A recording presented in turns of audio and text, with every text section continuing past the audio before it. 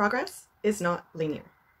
Happy Monday, everyone. Angie here from Pear Collections. Hope you're having a fabulous day so far and that you had a really lovely weekend. Today is Affirmation Monday, and I've actually already said the affirmation, but I'll say it one more time for you guys. Progress is not linear.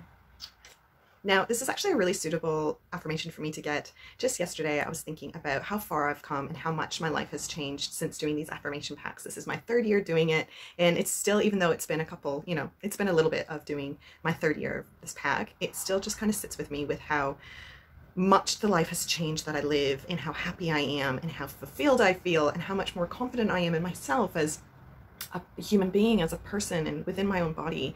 And i was thinking about all the different bumps in the road that happened along the way. And it is so true that progress is not linear. You know some days are going to be amazing days. Other days aren't going to be amazing days. And that's natural and that's life and that's what makes it beautiful and that's what makes it different and worth living i think. Because if it was all just you know easy and streamlined and linear I think it wouldn't feel as amazing once you get to that spot where you wanted to go. So, for today and for the rest of the week, remind yourself that your progress in whatever you are working towards is not linear and it also doesn't have to be going amazing every day. Just make sure you're continually working towards it and that you're being kind to yourself while doing so. And most importantly, of course, love your curves.